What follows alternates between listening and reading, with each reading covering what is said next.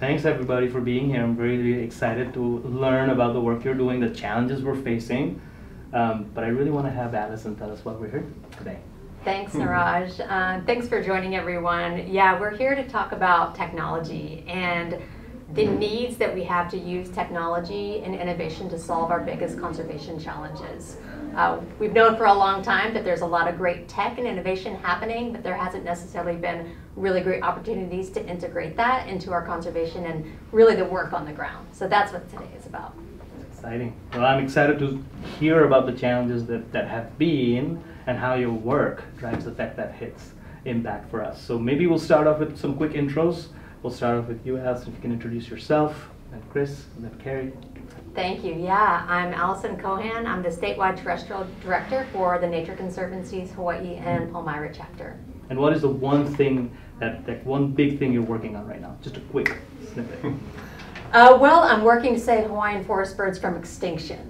Uh, there's a few species, four species in particular, that are in dire imminent um, threat of extinction within the next 10 years. So, working on some biotechnology and other ways that we can save the forest birds, including just the most basic let's preserve their habitat and make sure they have what they need to survive. Thank you. Yeah, Chris Balzotti. I work for the Nature Conservancy as the natural resource manager, and um, I'm on the located on Hawaii Island. And uh, so one of the big things that we're really focused on is protecting the watersheds. And so we put a lot of our energy into maintaining the forests that collect the water that then goes through the system, mauka makai. And I'm Carrie Fay. I'm the project manager for the Maui Nature Conservancy. And um, along with Allison, I'm also working on the bird project. And we also have a preserve here on Maui that houses two of those really endangered birds. So we're doing on the ground management also. Amazing, amazing. I'm going to focus the next question on Chris and Carrie, and then Allison, maybe you can zoom us out to our, our goals. But maybe you can describe quickly just what a typical day looks like for you all. So, Chris, typical day. Yeah, so in a, tip, a typical day is quite varied for our team. So we do everything from we'll fly drones and we'll monitor, you know, as we've got some diseases in our trees that we're monitoring how that's progressing. We'll be on fence lines, fixing fences. Um, we'll be tracking ungulates and trying to figure out where they are, what they're doing. We to the level of working with sea turtles down at some of our other preserves that have um, habitat for turtles. So it, it does range from very simple day-to-day tasks to pretty complex technology use.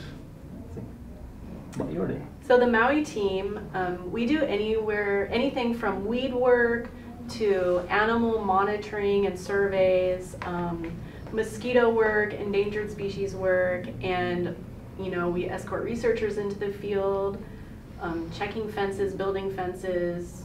You, um, yeah, That's pretty amazing.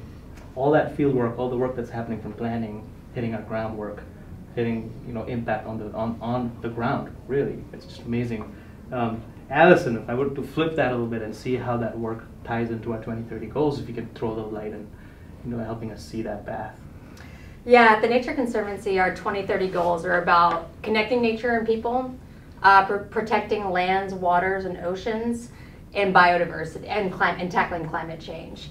And really, all those things hit the, the ground really clearly and hard in Hawaii. Uh, we're, we're seeing climate change impacts, you know, every day, and we have for a really long time. We're seeing really extreme weather events. With the, uh, the changing climate, we're having some invasions of invasive species that are really hard to temper. And we're trying to adapt to that, and we're trying to adapt the environment to that. And of course, in Hawaii, unfortunately, we're known as the endangered species capital of the world for good reason. We have species going extinct and um, plummeting towards extinction every day. Uh, so we, you know, we don't have years or decades to tackle this. We have days and weeks, and so we need action now on this. That means that means there needs to be help from not just conservation but potentially technology, and I'm sure you've you've played with quite a bit of that. Um, I would love to hear, and the audience would love to hear, how technology might have impacted your work. Just a couple quick examples.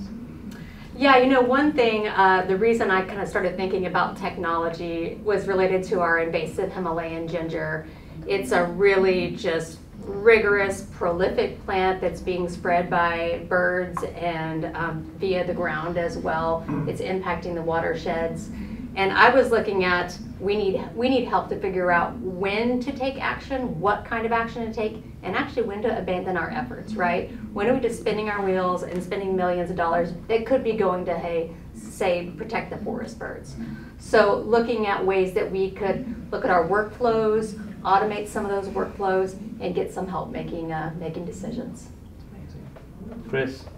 Yeah, so technology for us ranges again from like very operational things like GPS units, and we've got some mapping that we'll do, and uh, we've got applications that we use to collect data that, that's pretty smooth and flows, and all the way through to um, using game cameras, bioacoustic sensors to track both what we see in the forest and what we hear in the forest, and it gives us a full picture of the health of the forest. And then we even experiment with other stuff that's not quite as operational, like uh, environmental DNA, eDNA, and we look at being able to use things like that to be able to even see more of the forest health through what we find in the water. And so, yeah, we, we range a lot of stuff. That's just a little bit of it. We fly drones um, as well, quite a bit, to track changes. Um, we've even gone in the not operational side, but experimental side, we're looking at doing more 3D rendering. So we do, um, they call it structure for motion, so that we can look at 3D um, how our coastal ways right now is where we're using it the most is how it's changing. As we have this, as Allison mentioned, how we have climate change, sea level rise. We want to know how that impacts the species that we're trying to help protect. I love the magic word experimenting. That's a fun one. I want to tap into that in a little bit. Carrie. So yeah, on the ground, we are using drones with forward-looking infrared sensors. So we're doing, we're looking at animals and surveying for animals using that technology. Um, we also use a lot of trail cameras and game cameras, so we get a lot of images. Um, and then we have um, some high resolution aerial imagery that we've been using. And uh, we've got an array of networked weather sensors that we are um, kind of in the beginning phases of it. We've got a few out there right now, and it's all connected to a dashboard live um, we'll talk about more of that of that soon. That is cool. That is very very cool. as a technologist, when I hear this, there's a lot of opportunity, but I'm sure reality strikes quick. And, and I think with all the work you do on the field, with the elements here, just being here the last couple of days, understanding the work you do and seeing it happen and actually sweating it out, um, you kind of appreciate a whole different level of the work you're doing and the work that it takes to save our planet. So I I'm sure there's challenges that are not just you know making an AI model work. So maybe if you can throw some light, Allison will it back to you. Um, a couple of challenges you've run in, into trying to bring tech into your world. Yes. Well, first and foremost, it's where to start with bringing tech into the world. Like the Himalayan ginger problem, it's like, well, we need help with decision support science, we need help with imagery, we need help with machine learning. Uh, but one of the uh, the lowest hanging fruits, so to speak, was, you know, first we have to find these plants, these little bits of green in a sea of green. And can AI help us with that? And so we thought, cool, great. We have this um, imagery. We have satellite imagery. We have imagery taken from drones. We'll just run that through, and sure, AI should be able to help pick out that plant. No, there's just, you know, there's lighting, there's the resolution, there's the angle. Any day in Hawaii, it could be cloudy one minute, sunny the next hour, raining the next hour. And so getting that to be taken into consideration, the machines to figure that out and automate that was really tough and uh, you know hasn't quite worked yet. Chris, what do you think? Yeah, for, for us, one of the big challenges is really automation and scaling up the ability of our team to do more. And so we have a really great team that knows where to put the cameras, knows where to put the, the bioacoustic sensors, have, have really good knowledge of the land, but we don't have the time or the abilities to go through thousands of hours of data to find that nugget, that find the movement of the bird patterns, or to find, um, to go through the images on the cameras and find you know, whatever specific species we're trying to track, there's a lot of noise in all of that. And so with small teams, we just can't, we just can't do it. So for us, one of the biggest challenges with technology, it's kind of the hardest thing for us is that we find something that works, but we can't scale it. So I would say automation kind of leads to scaling. So scaling is the ultimate goal, but for us, it's the automation is the biggest choke point. Let me, let me double click a little bit on that for you a little bit Sure. on scaling and understanding. You know, from the operational standpoint, has there been a something you might have tried that didn't work? Yeah, yeah, we've, we've, we've definitely, um, so going to the bioacoustic sensors, so those again are microphones in the forest that allow us to listen to the birds, we, we track insects, um, and even some of the invasive species. Um, we put out the, the recorders and then we had a citizen science project that was going to help us out with that.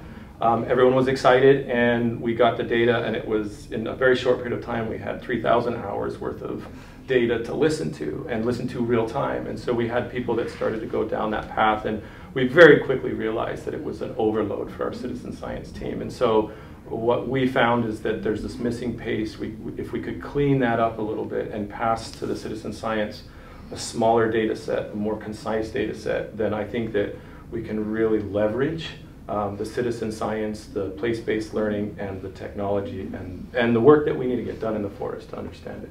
That's a that's an amazing nuance. When we think about technology, we're always thinking about these big, big solutions for, for big challenges. But when you look at workflows and automation, especially accelerating your your your work at the point of impact, that's a big area for us to double click on as technologists. Just thinking about ways where we can contribute to the challenge, the, the, problem. Carrie, what about you? Yeah, so again, the biggest challenges um, for me, being somebody who works on the ground in the field, um, my final product, it's been challenging to get that final product. I want a map that tells me where these endangered species are or where the non-native plants and animals are, you know, or a shapefile or something that leads me to it so that I can go take care of it on the ground. Implementing it is a huge kind of a tripping point or um, and, and also the data collection, we have collected a lot of data and then it's like the analysis. How, how do we analyze this? And, you know, I think that's kind of what everybody is trying to figure out, right? Yes, yes, absolutely. Um, we want to flip the question on technology now and actually make it about what it can do for you, maybe a little bit of a wish list. Um, just thinking about the overall community, right? You've got technology, companies, vendors, partners, innovators, researchers, um, people that are experimenting with new, innovative tech. What would your dream or ask would be in, in, in what can they help you with? What you, would you ask them to do for you? That's a tough one, Niraj. One to three Um, things, because I, I can see that. Well, first, let me one. tell you just a little pie in the sky scenario in my mind. So you've got a drone that has software program that has a machine learning algorithm that's somewhat that's proven somewhat effective, but it's still learning. Um, and so you set this drone on transects, it comes back to you and tells you these are particular areas that we think this plant may be, and you can go out and take care of that. It's also still learning and refining the algorithm, and that predictive model is getting better and allowing you to adapt your management over time every day. Then you feed it into a different type of an AI program where it's helping you make decisions. Some decision support science using AI would be really helpful. Yeah, I, think for me, Allison hit it on the head. It's for us, it's being able to manage real time, right? Adaptive management. And so as we deal with climate change and shifts, I think for us, it goes to kind of what we already talked about. It's about if somebody could help with the lift of the workflow of automation or bridge the gap even between we have really great researchers that we work with all the time and they can get an idea working with us even to a place where it seems possible but it's to it's to bridge that last gap where it takes it from something that's a proof of concept that might work to being something that's operational that we can deploy with our team and we don't need to have like a full set of scientists to help us actually deploy it. We can go out and we, we can de- deploy whatever that technology is. And it works with a lot of things for us but for me it really is automation. And i'll give one quick example. And so with with the birds again um, we're very interested in our native birds a lot of them are critically endangered endemic and we have climate change, we have shifting patterns. They're moving their patterns, but it's hard to get that information about where the birds are and where they're spending their time. And so if we can have these bioacoustic sensors out that are feeding us really quickly what's going on, then if we're doing something in the forest or if something's happening in the forest that might be affecting the movement of those birds, we can maybe change what we do and we can, we can match our management to what we want um, or, or what's best for the birds. Well, not to harp on the Himalayan ginger, but that is the one thing that keeps me up at night. It, it's a really a habitat modifying weed, it spreads easily, and it's being found in the most remote forest. If we could find a way to find it, first of all, we've tried using aerial imagery, and you know it's it's an understory plant. Um, so it's really hard to see, and maybe that's not the answer for that particular plant. Maybe there's different technology that we could find. Um, that's really the one major thing that would be great. Detecting things or understanding alerts that happen or surveying and prioritizing regions. I mean, these sound like jobs to be done that a technology should really come in and play with. Plus, the learnings the conservation tech team can really pick up on is see how that applies to other programs. Because I'm sure there's other folks in other programs that are potentially stuck in similar workflows where automation could help accelerate something or analysis that can help us get to some answer quicker. And if we can learn from what's happening here and translate that, I think that's an area that really excites me as a technologist, but also as somebody that's connected to other programs at TNC and the work that we're doing on a broader scale, um, how this becomes a learning epicenter for, for things that are happening on the field and how our work touches everything that TNC does. I, we're officially at the end of the panel. I have another pie in the sky. I like that. Okay. Go for it. Well, I, it's important for folks to understand like Hawaii is incredibly unique, right? Incredible biodiversity and endemism. Uh, one way that we can preserve that is by you know dealing with our invasives. Invasive ungulates or hoofed mammals are very detrimental. They spread weeds. They also, there's a very strong correlation between a deadly pathogen to one of our most important trees, the ohia. Uh, there's a there's a major link, right, with these ungulates and this pathogen. So we need fences. Fences are really important to keep these animals out. If we had some nanobots or little robots that check these fences for us, fly, they automat they automatically avoid obstacles and they transmit that data, ideally real time, to the cloud because we have big wind events, again, related to climate change, things that are causing these uh, fences to be broken and then animals get in and we're talking millions of dollars that have gone to waste now that these animals are in the forest. So we need, that's a low hanging fruit, maybe for the right technologist, let's do it. I like that. We call, we, we call these ideas moonshots in the tech space, but because of our work here, we, we need to call them earth shots. These are very relevant, needed. We need to bring them and touch these tech to that idea. That I want a big idea from you. I want a big idea from you. Give me, give us a big idea. Crazy.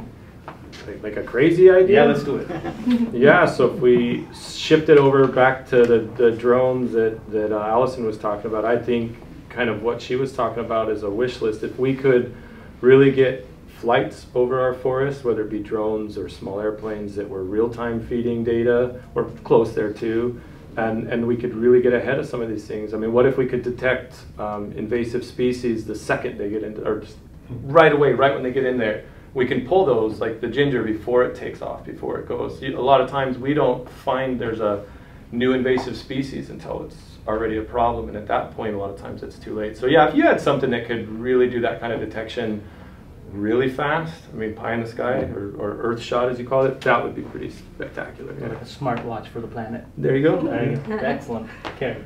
Um, a drone that can treat weeds. Yes. Because we have weeds that occur on cliffs. It's impossible to get to the weeds. Um, you know, we have a few ideas with uh, paintball guns floating around. That's kind of in the works. But if a drone could do it, that would be really neat. It's awesome.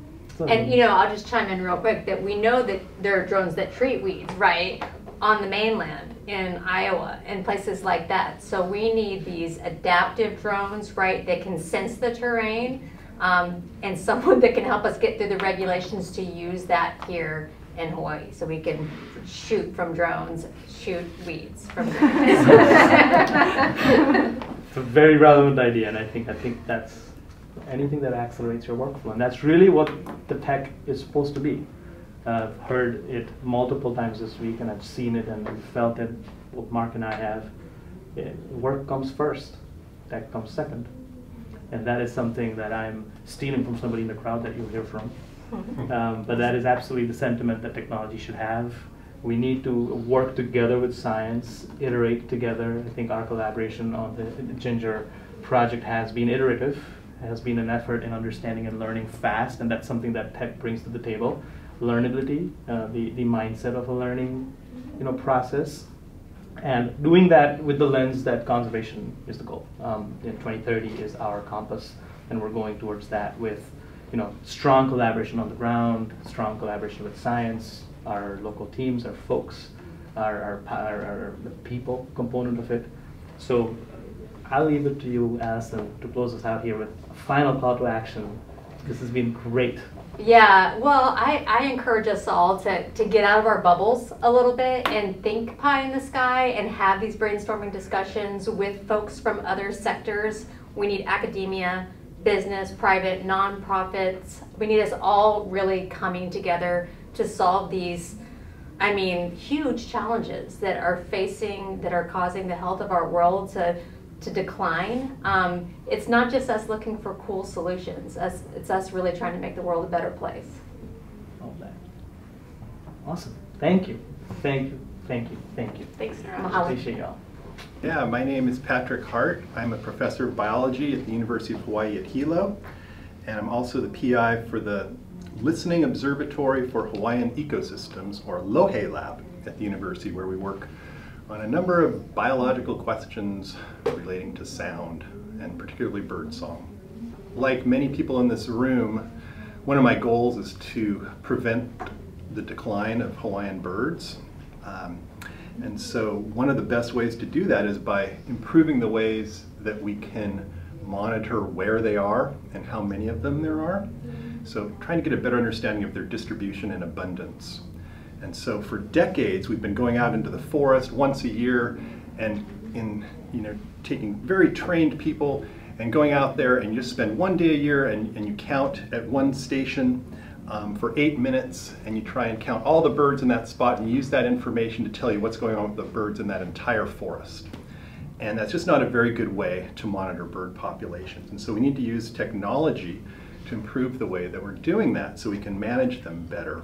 And so in the last 10 years, there's been the increased use of automated recorders that you can place in the forest and just record the songs that the birds are singing all day long throughout the year. And birds are, you know, the birds, especially in Hawaii, are making, are, are singing all day long, oftentimes. And so we can use that sound to get a better understanding of where they are and how many there are. But the problem is that it's just the, the amount of data that's generated from these automated recorders is just massive, and it's almost impossible using current technologies to analyze all this data in a reasonable way to get an understanding of what's going on with the populations. And so we've been collaborating in our lab with the Cornell Lab of Ornithology to improve a new algorithm that just came out. It's called BirdNet, which people can actually download to their phone to identify bird songs in mainland areas, but it doesn't work in Hawaii, and it doesn't work for research or monitoring purposes anywhere yet. And so we've been working with them to improve the algorithm through coding competitions and giving them lots of annotated data that we've been employing students in our lab um, to help with. And so we're just right now at the point where we've got this algorithm that's ready for, you know, ready for researchers to use in Hawaii.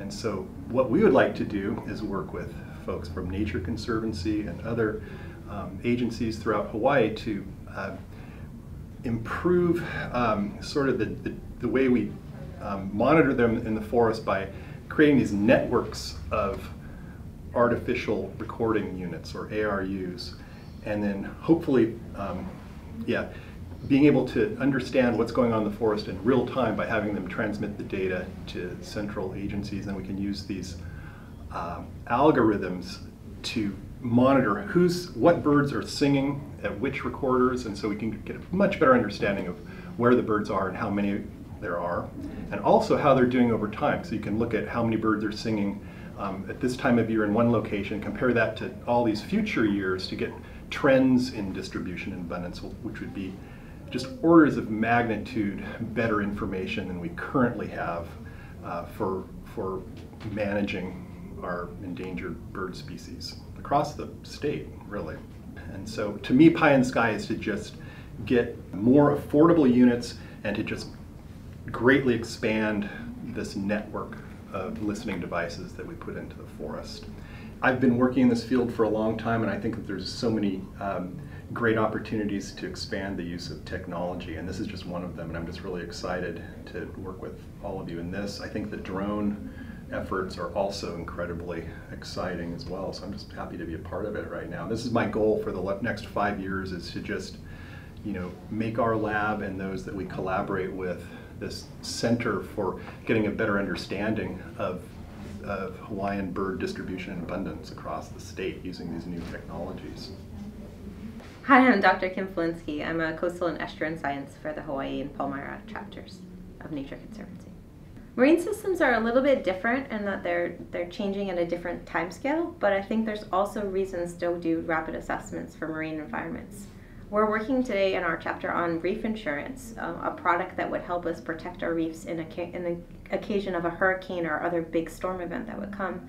And after that storm event, we would need to be able to quickly identify where the reef was most vulnerable. So that's one type of rapid assessment.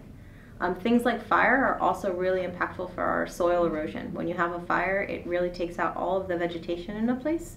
And so if we could post fire, either identify those fires immediately on happening, so how can we have quick fire detection, or post fire decide, okay, how what's the best way to rehabilitate this place by getting good imagery in one place at a time.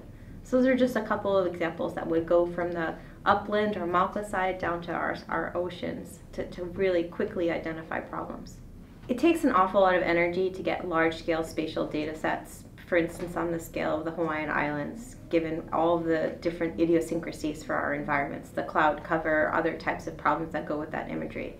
But if we have those large scale spatial data sets, they can help us answer really big questions that are limiting our ability to do management. For instance, if you, right now, it's kind of up in the air still the impacts of how sediment will interact with coral. Is it going to prevent the coral from bleaching or is it going to scour the coral? Is it a good or is it a bad? And there are times when there's still people that can't decide whether you need to use, like go after that particular type of source. So if we had a statewide data set that could be combined with, say, our statewide coral health metrics, which we've also been working on, then you can overlay the two and do the statistics to figure out how important is this particular driver for coral reef either health or decline over time. So those big data sets are really feeding into big scale science that we've been working on to try to answer the most critical questions that will help direct our program. The last piece that I think is is important to realize is knowing who your data is for. Um, in the case of upland management, it might be easier. It's to try to get rid of the species that are threatening our forest, whether it be mosquitoes or Himalayan ginger. But when it comes into peopled environments, it's a little bit less clear as to who the data is for. Is it going to be for the academic community to make those big scale decisions, or is it for your county council member so that they can promote the work that's going to lead to the policy changes that you need? And so figuring out how to address different types of data to different types of audiences, I think is key to our conservation success. My name is Mark Gearing. I'm with the Nature Conservancy. I am principal for emerging conservation technology. So I'm working on a lot of different technology projects, mostly as a consultant and a few hands-on.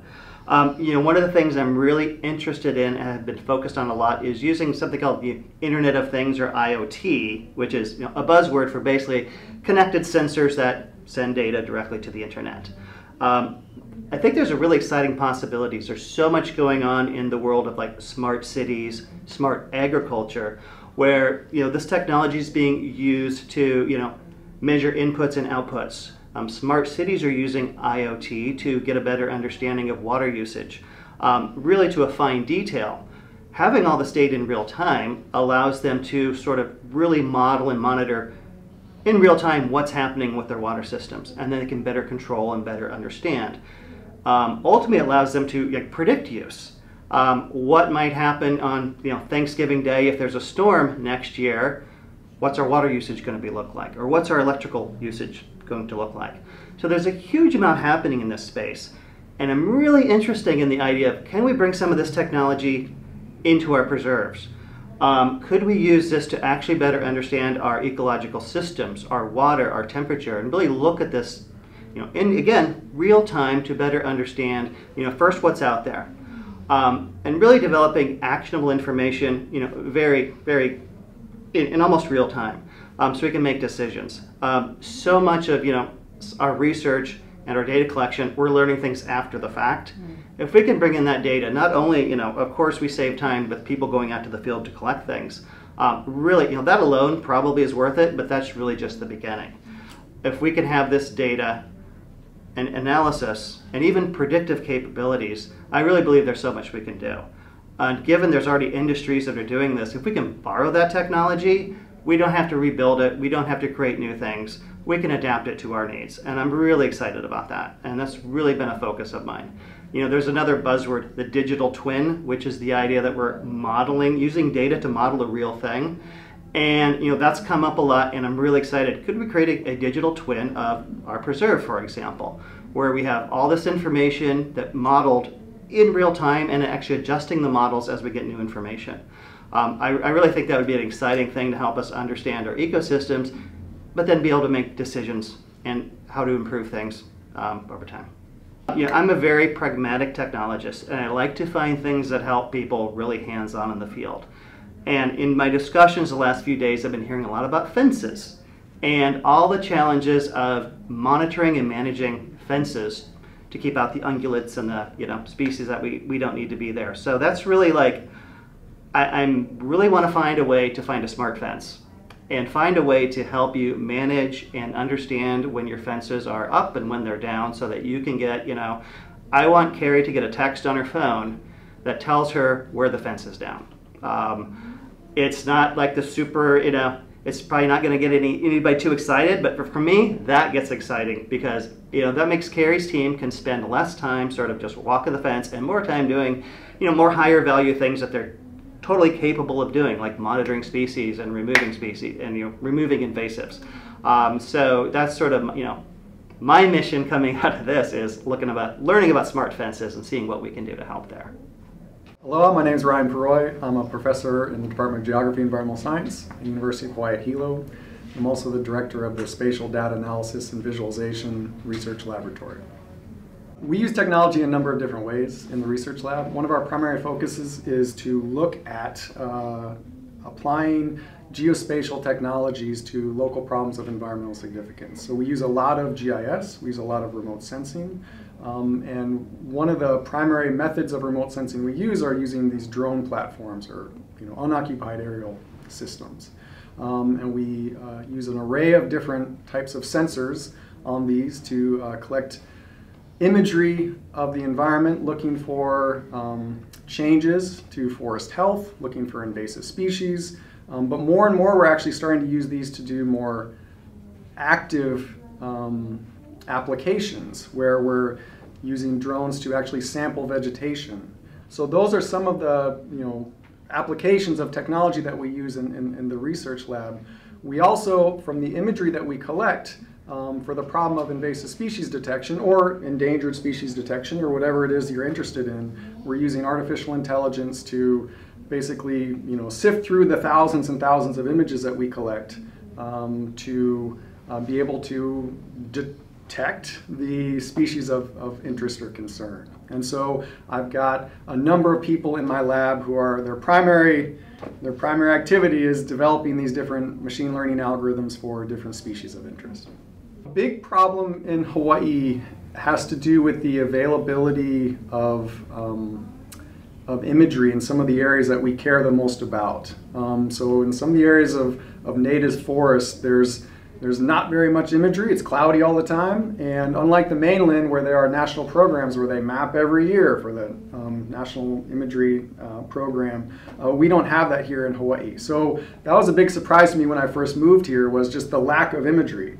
Um, and so we have been working to solve that with the use of drones, and we've um, but with drones you can only cover tens of acres, hundreds of acres. If you're really pushing it with current technology, you know, a thousand acres on a really long day, um, but it's quite challenging.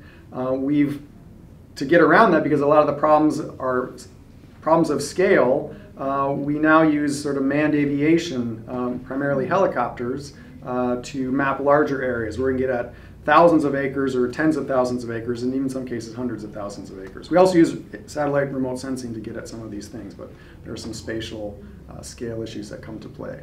Um, a, a, pie in the sky uh, need or, or, uh, vision that, that I would have um, would be to have basically long endurance, um, manageable, meaning something that could fit in the back of an SUV, uh, drones that could fly for 10 to 12 hours and are able to basically cover you know large watersheds or even entire islands on a pretty regular basis.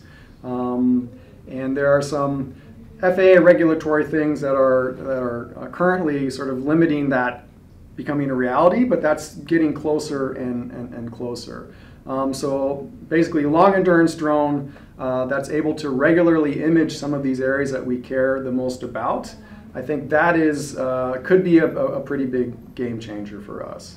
Uh, right now, we've been working hard to uh, develop a, a, number of uh, algorithms for particular species of concern. So, Miconia calvescens and um, Faya tree and some other agroforestry species, but we have a relatively small number of species that we have artificial intelligence detection algorithms for. And I would love to have artificial intelligence algorithms for all of the species that we find in Hawaii, both the native and the non-native species, so that anytime you image something, you can run it through the algorithms and they would tell you exactly what all the different species are in the imagery that you, that you acquire. And I think that's definitely doable. Um, it's just a matter of you know building up the training sets to, to, to make that happen. Um, yeah. yeah. so I, I, have a lot of reactions to what you guys are saying. Um, so, so we uh, another issue that often comes is the, the turnaround time between the imagery acquisition or the data collection and the analysis to get at a, a, a, a product that's actionable. Um, and so we've got that in mind. The, the machine learning algorithms can certainly help with that. And we actually have a, a project on Hawaii Island right now where um, we're, we fly a drone uh, looking for an invasive species. The drone lands, we run that imagery through the laptop in the field. The coordinates get kicked out, and those are given to the field techs crews who can walk back into the forest while we're already out there and then take those plants out. Sort of, you know, same, same operation, uh, not having to wait a long time for that to occur. Um, so that ability to sort of, you know, turn around the information really quickly. Uh, that's one that we're working on. I think there's there's a lot to be done in that in that area. Um, my lab doesn't currently have uh, these, but there is a lot of exciting things happening right now in terms of um, drones that can fly through the canopy. So drones that can fly through forests and avoid you know tree trunks and uh, and map out the subcanopy. And I think that is an area that um, there's a lot that could be done here in Hawaii in particular. Um, so, so that's certainly one that, that is, is pretty exciting. I have some colleagues at ETH Zurich in Switzerland that are working on some things like this, and other people are as well.